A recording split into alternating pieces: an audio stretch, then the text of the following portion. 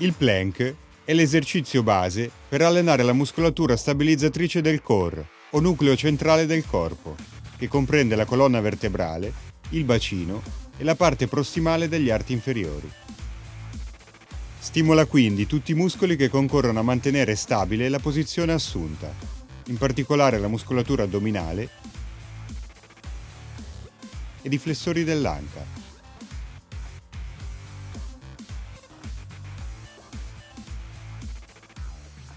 Ci si posiziona a terra proni, con i gomiti in appoggio, le braccia flesse a 90 gradi rispetto al busto e le gambe distese semidivaricate. L'esecuzione del plank consiste nel mantenere la posizione del corpo in asse attraverso una contrazione isometrica dei muscoli coinvolti. Bisogna prestare particolare attenzione ai compensi che si possono verificare a livello del rachide e dell'anca, specialmente nei soggetti che non possiedono un adeguato condizionamento della muscolatura stabilizzatrice. La difficoltà dell'esercizio è determinata dal grado di stabilità.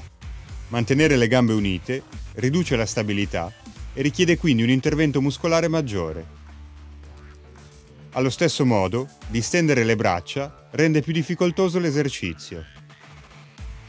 Al contrario, appoggiarsi sui gomiti e divaricare le gambe aumenta la stabilità semplificando l'esercizio.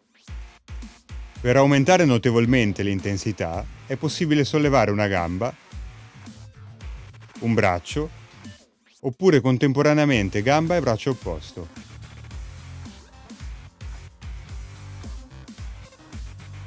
Utilizzare degli strumenti propriocettivi da tenere sotto le braccia e o sotto i piedi permette di ottenere un ulteriore incremento della difficoltà. La variante laterale chiamata side plank interessa maggiormente i muscoli che abducono l'anca e flettono il tronco verso il lato in appoggio e gli adduttori dell'anca opposta.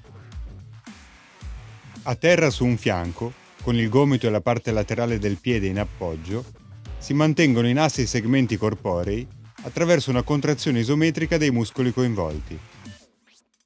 Per incrementare il grado di difficoltà è possibile distendere il braccio d'appoggio oppure introdurre movimenti oscillatori o di adduzione sul piano frontale del braccio libero.